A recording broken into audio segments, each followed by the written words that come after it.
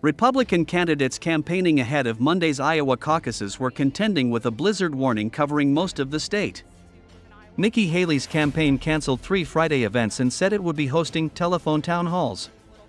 Ron DeSantis' campaign postponed events in Marshalltown and Clear Lake. The Iowa Department of Transportation's road conditions map on Friday showed that virtually every major highway and interstate was partially or completely covered.